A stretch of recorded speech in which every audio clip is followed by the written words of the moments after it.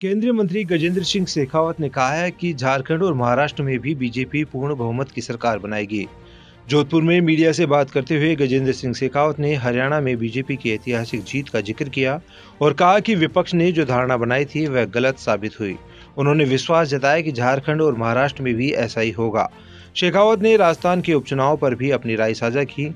उनका कहना है कि बीजेपी का कुनबा एक से अनेक हो जाएगा। शेखावत ने कहा, सनातन धर्म की परंपरा के अनुसार उपचुनाव के बाद बीजेपी का कुनबा और भी विशाल और समृद्ध होगा। उनका यह बयान बीजेपी की आगामी चुनावी रणनीतियों की ओर इशारा करता है।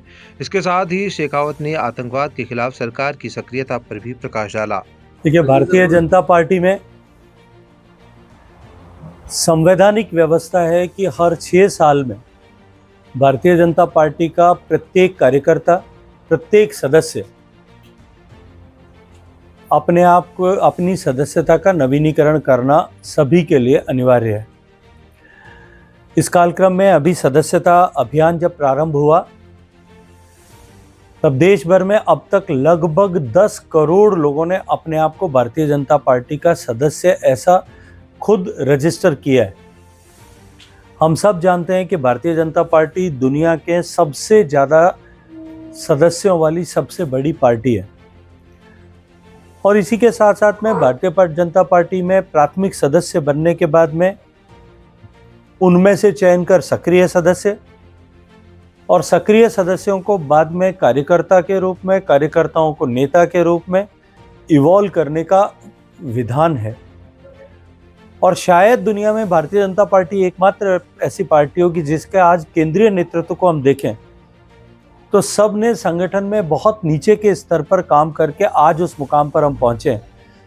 आदरणीय जेपी नड्डा जी, आदरणीय अमित शाह जी और उसके अतिरिक्त भी देश की और राज्यों की राजनीति में काम करने वाले भारतीय जनता पार्टी के सभी वरिष्ठ नेता। इसी प्रक्रिया से, इसी इवोल्यूशन की प्रक्रिया से, उद्विकास के इस क्रम से निकल करके आज इस मुकाम तक पहुँचे हैं। अभी भारतीय जनता पार्टी में सदस्यता अभियान और सक्रिय सदस्य बनाने की व्यवस्था चल रही है। मैं सौभाग्यशाली हूँ और मानता हूँ अपने आप को कि मुझे भी आज सक्रिय सदस्य के रूप में नामित किया हमारा जो विधान है, हमारी जो सनातन परंपरा है, उसमें एक से अनेक होने का कहा गया है। के बारे में विस्तार से लिखा गया है। इन जो सात सीटों पर उपचुनाव हो रहा है, इसमें हमारी भारतीय जनता पार्टी की एक सीट है। और मैं ज़िम्मेदारी से कह रहा हूँ कि हम एक से अनेक होने वाले हैं। देखिए, जब हरियाणा का चुनाव हो रहा था तो मेरे मीडिया के सारे मित्र भी, कांग्रेस पार्टी और इन विपक्षी गठबंधन के लोगों ने मिलकर के जिस तरह का नैरेटिव बनाया था, उसकी धारा में प्रवाहित हो गए थे।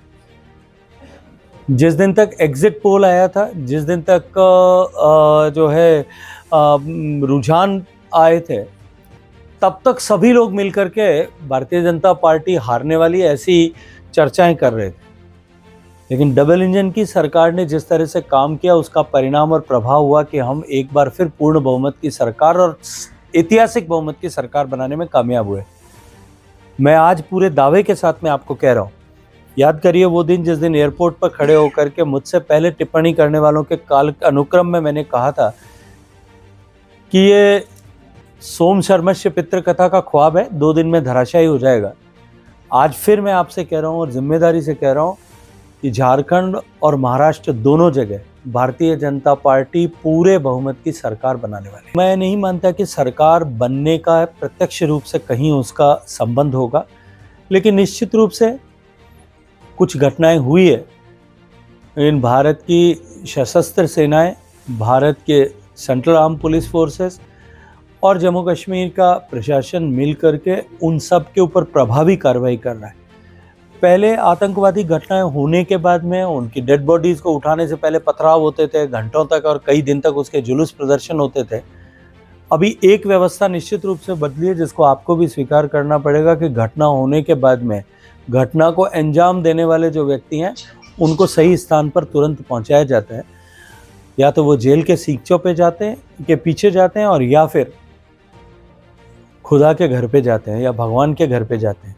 तो ऐसी घटनाएँ करने वालों को जो है, हम भुगतना, जो है, वो अपने अंजाम को भुगते हैं। इसको हम निश्चित रूप से सुनिश्चित करेंगे।